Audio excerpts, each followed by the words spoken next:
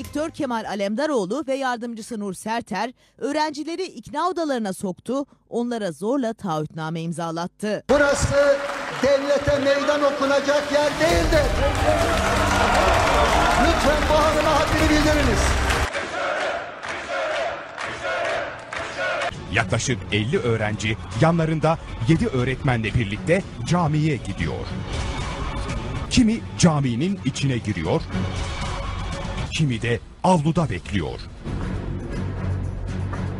Yere halılar seriliyor, takkeler takılıyor. Mesleğinizi uygularken ya da özel yaşamınızda bilimin kılavuzu dışında hiçbir kılavuz tanımayacağınıza da aynı şekilde inanıyorum. Bütün üniversitede hiç e, başı örtülü e, öğrenci yoktu. Sonra biliyorsunuz ilk defa Şule Yüksel e, ilginç bir baş bağlama biçimiyle e, bunun sembolü olarak ortaya çıktı. Evet, bir zamanların Türkiye'sinde kamusal alan özgürlüklerin izole edildiği bir alana dönüşmüştü. Devlet daireleri, askeriye, okullar, sosyal tesisler.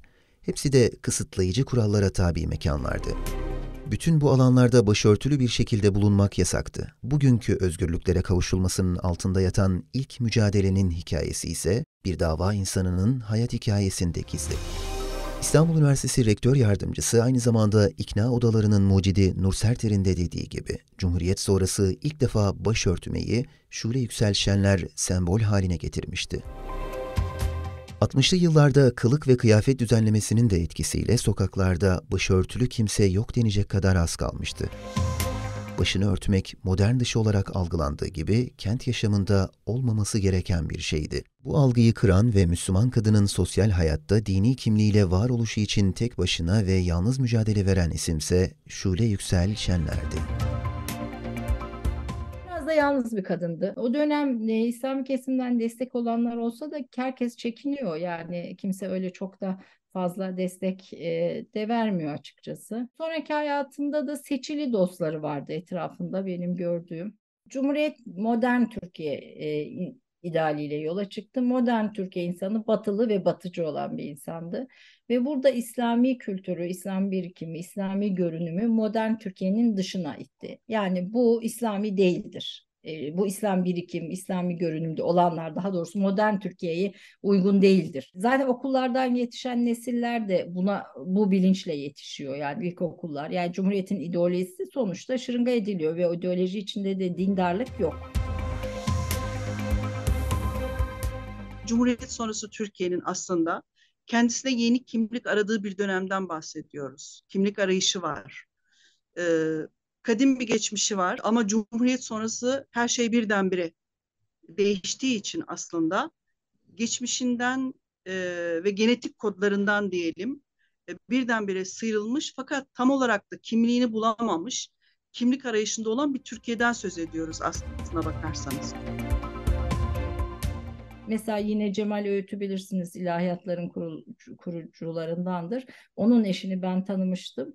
10 yıl hiç evden dışarı çıkmamıştı. Çünkü e, başörtüsü yani kıyafetiyle çıkması mümkün değildi. Hani bu da kontrollü bir dindarlık ama kamusal alanda, üniversitede, çalışma hayatında, görünen yerde, gazetelerde orada burada başörtülü hiç kadın yok. Yani Yok sanki ama ev ev e, kendi özel hayatlarında elbette varlar. Bir de bunun için İsmail Kara'nın e, bir mesele Cumhuriyet Türkiye'sini bir mesele olarak İslam kitabını öneririm dinleyicilerimiz için.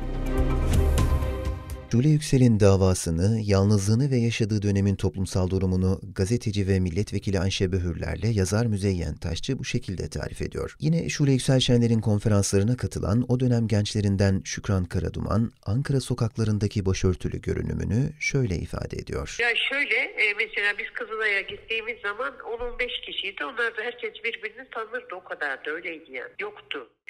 Mesela ilahiyatçı vardı. Hatice Babacan vardı. 60'larda başörtülü e, şeyler gündeme gelmeye başlıyor. İlk Hatice Babacan 63'te İlahiyat Fakültesi'nde e, başörtüsü örtmek istiyor. Şule Yüksel yine ondan sonraki işte 61 70'lere doğru daha ön plana çıkıyor. Annesi Ümran Hanım ve babası Tahsin Bey teyze çocuklarıdır. Şenler ailesi Cumhuriyet'in ideallerine ve gerekliliklerine uygun bir tarzda modern bir hayat yaşamış ve evlatlarını da o şekilde yetiştirmişlerdir. Bu atmosfer içinde tabii o modern hayatın icaplarına göre yetiştirildik. E, danslar, balolar vesaireye kadar. Fakat e, yani o hayattan çok memnunduk. Farkında değildik. Yine tırnak içinde modern bir ailede, e, kimyager bir babanın kızı, e, çok sosyal bir genç kız. İşte şan dersleri alıyor, piyano dersleri alıyor. E, sinemalara gidiyor, tiyatrolara gidiyor, denize gidiyor. E, tam anlamıyla yeni Türkiye'nin yeni çehresine sahip e, Avrupalı, batılı bir genç kız. Aslen Kıbrıslı olan Şenler, Kayseri'den sonra ailesiyle birlikte İstanbul'a taşınır. Annesinin rahatsızlığı nedeniyle eğitimini ortaokulda bırakır ve bir terzinin yanında çalışmaya başlar.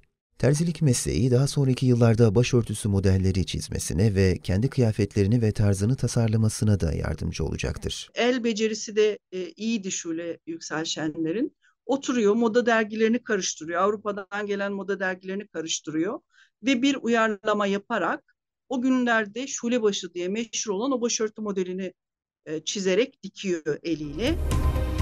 Şule Yüksel Şenler cesur ve atılgan bir hanımefendi olarak bilinir.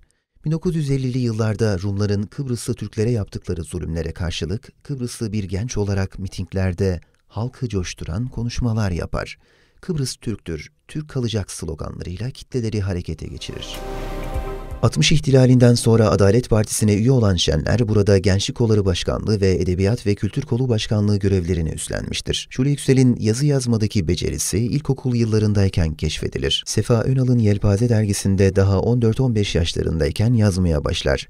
Sonraları Yeni İstanbul gazetesinin genç köşesinde yazılar kaleme alır. En çok takip ettiği ve severek okuduğu yazarlar Kerime Nadir, Muazzez Tahsin, Gökhan Evliyaoğlu, Peyami Safa, Nihal Atsız ve Tolstoy'dur. Şule Yüksel, Cağaloğlu'nda zamanının en popüler gazetelerinden biri olan İffet Halim Oruz'un Kadın Gazetesi'nde yazılarına devam eder. Bir hafta ben, bir hafta kardeşim, Duyuşlar, Görüşler adı altında Kadın Gazetesi'nde bir müddet yazdık, köşemiz vardı. Ancak fikir ayrılıkları nedeniyle aralarında anlaşmazlıklar başlar. Biz her ne kadar modern görünüşteysek de e, yine de yani eski zaman kızları diye adlandırılırdık. E, oturuşumuz, kalkışımız, hatta fikirlerimiz. Daha sonra Şule Yüksel ayrılmak istese de Bab-ı Ali'den Peyami Safa ve Gökhan Evliyaoğlu ayrılmamasını ona telkin ederler. Bizim yazılarımız çok ağır geldi hanımefendiye ve mücadelemiz uzun süre devam etti ama en sonunda öyle bir raddeye ulaştı ki ben dayanamadım ve ayrıldım. Şule Yüksel bu ayrılık sonrası yazarlığa iki yıl ara verir ve abisinin arzusu üzerine bu zaman zarfında Risale-i Nur sohbetlerine iştirak eder. Ara verdiği yazarlığa da tekrar başlar. 1965 yılında 27 yaşındayken tesettüre girmeye karar verir. Şule Yüksel, edebiyatçı yazar Müzeyyen Taşçı'ya verdiği röportajda tesettüre girerkenki duygularını şöyle ifade eder. Şöyle anlatmıştı, baktım yavrucuğum dedi, yani örtünmek dediğin zaman gerici hanımların e, başlarını örttükleri, işte sıkma baş denilen, kasabalarda Yemeniler örten hanımlar ya da şehirde yaşları büyük olup da başlarını önden açık bırakıp e, çene altlarından kelebek bağlayan hanımlar. E, onun dışında örtü diye bir şey yok. Yani böyle bir alışkanlık yok. Öyle yapmalıyım ki dedim. Bu geleneksel algıyı yıkacak, aynı zamanda kabul görecek e, sempati duyulacak bir şey yapayım diyor.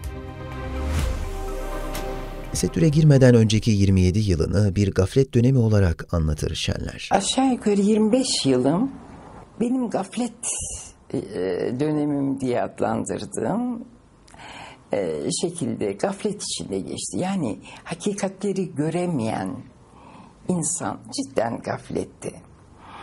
Bize hakikat olarak o kadar suni şeyler e, verilmek istenmiş ki biz de bunları o kadar güzel kabul etmişiz ki daha sonra hakikatin aslını e, öğrendikçe e, bu defa acılar içinde kıvranıyorsunuz ve o geçen yıllarınıza e, son derece acıyarak bakıyorsunuz. Heba olmuş yıllar olarak bakıyorsunuz. Daha sonra elhamdülillah Allah'ın büyük bir lütfuyla e, hayatımın hidayetle çiçeklendiğini görüyorum. Hakikaten. Ve sonrasında Şule Yüksel hakikatin neden insanlara anlatılmadığı hakkında düşünür ve Anadolu'nun tüm şehirlerine gideceği konferanslarına başlar. İlk konferans teklifini Samsun'dan alır. Gönlüm adeta alev alev yanarak neden, neden ben bugün öğreniyorum bunları ve bizim nesle neden bunlar anlatılmıyor? Camilerde e, görevliler, e, bazılarında evet belki bahsediyorlar ama zaten camiye gelen kadınlarımız o zamanın e, ekseri yaşlı, tesettürlü hanımları. Yani açık bir hanımın camiye gelip bunları öğrenmesi mümkün değil. O günlerde Diyanet İşleri Başkanlığı'ndan bir sertifikayla camilerde vaaz yapması teklif edilir. Şule Yüksel bunu reddederek klasik bir cami vaazı yerine konferanslarla cami dışındaki kitleye de ulaşmak istediğini ifade eder. Ben halkımı tanıyorum. Kompleks içinde zaten. Camide konuştuğum takdirde ismim Hoca Hanım olacak.